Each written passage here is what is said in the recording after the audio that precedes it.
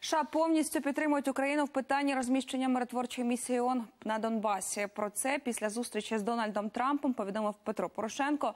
Зустріч американського і українського президентів тривала годинно. Про що говорили? Дивіться у нашому матеріалі. У небі гелікоптери, на землі кордони силовиків. Дональд Трамп запросив українського колегу у свою тимчасову резиденцію в готелі у центрі Нью-Йорка. Перемовини між двома президентами проходили у широкому складі. Окрім Дональда Трампа, з американського боку усі найвищі чини країни: віце-президент Пенс, держсекретар Тілерсон, радник з нацбезпеки Макмастер та спецпредставник з питань України Волкер. Я дуже радий бачити сьогодні президента Порошенка. Ми вже зустрічалися раніше в Білому домі, і після тієї зустрічі ви досягли великого прогресу. Відзначу, що Україна не найкраще місце для життя, але вона з кожним днем стає кращою. Я чув дуже дуже гарні відгуки. Розмова тривала цілу годину. Найважливіше питання ведення миротворців ООН на Донбас.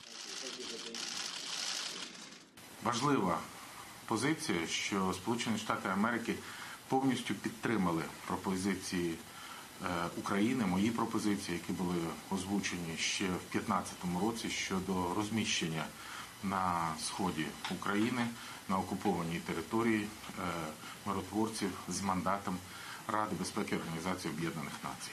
Я підкреслюю і наголошую української позиції, яка передбачає мандат на всю окуповану територію на сході України, включаючи неконтрольовану ділянку україно-російського кордону. Багато часу приділили і темі військової допомоги. Втім, поки що постачання летального озброєння питання відкрите. Невідомо, коли Трамп підпише відповідне рішення Конгресу і в яких обсягах його постачатимуть Україні. Я можу сказати, що зустріч, яка тривала е, годину, була надзвичайно продуктивна. Ми відчули справжнє плече нашого друга і партнера. І можу сказати, що я, як президент, надзвичайно задоволений поточним, безпрецедентним рівнем співпраці між Україною та Сполученими Штатами Америки.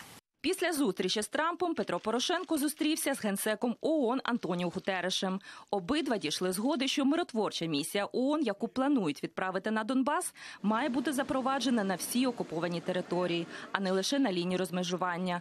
Порошенко також закликав ООН приєднатися до процесу звільнення заручників. Катерина Кравець, Дмитро Анопченко. Новини телеканал Інтер.